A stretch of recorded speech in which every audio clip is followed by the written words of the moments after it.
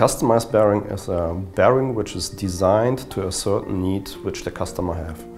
So it could be terms-wise that you have a special flange area, that you have a special ID or special length, and this is mostly related to a topic which solves a problem at the customer side. And so the customer has a certain need for a sliding torque, then the bearing would provide a certain sliding torque.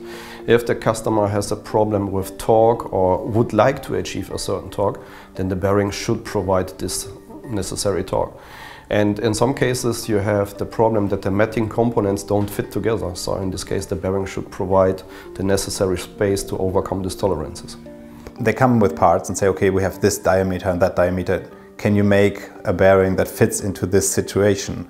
And they are faced with challenges of bringing um, mating components together, make it move, make it um, high quality, uh, low clearance or no clearance, no squeaking and so on. So the challenges for our customers are quite high.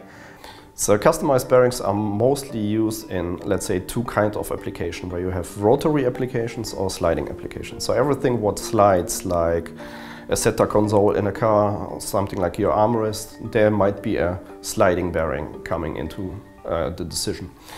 Or um, everywhere where you have a rotary uh, movement, something like door opening, your trunk hinge, etc., there might be a, a normal flange bearing or customized bearing.